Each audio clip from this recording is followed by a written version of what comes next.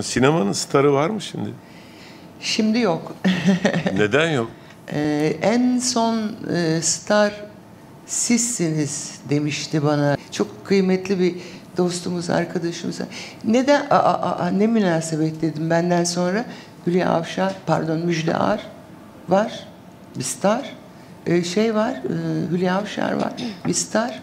Evet ondan sonra sayamıyorum ama yani bu iki kişiyi de göz ardı edemeyiz.